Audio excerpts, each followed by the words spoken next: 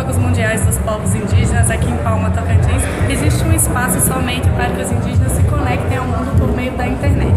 A maior parte deles já, usa a rede para fazer pesquisa, para usar as redes sociais principalmente, e muitos deles também estão pesquisando a cobertura que está sendo feita aqui nos Jogos Mundiais, vendo fotos, vídeos, matérias que estão sendo feitas. A Lília é uma delas. Ela é da etnia Ibates, que é do Mato Grosso. Lilian, o que, é que você está gostando mais da cobertura até agora?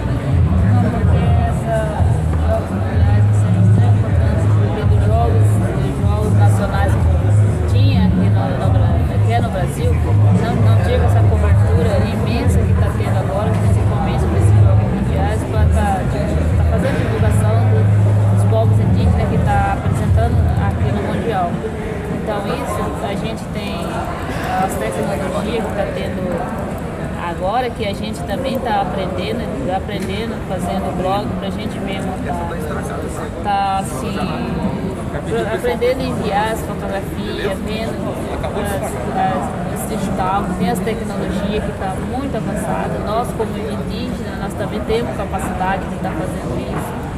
Então isso assim é uma coisa assim, diferente para a gente que está participando aqui do Mundial.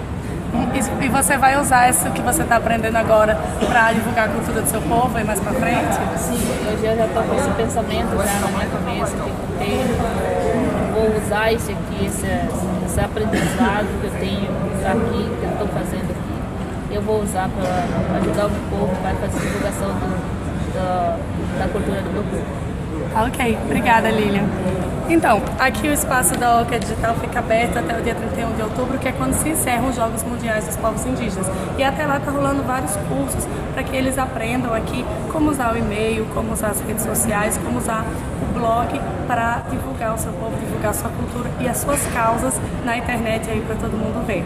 De Palmas, Tocantins, Sumaia Vilela.